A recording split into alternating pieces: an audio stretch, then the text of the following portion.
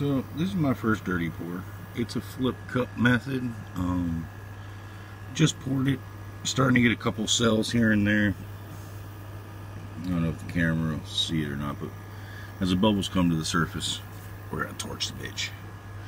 Uh, it's on foam core, so I gotta be careful. I can't catch it on fire. But that might be a cool effect too. But uh, yeah, today we're acrylic, acrylic fluid painting. And it is nice.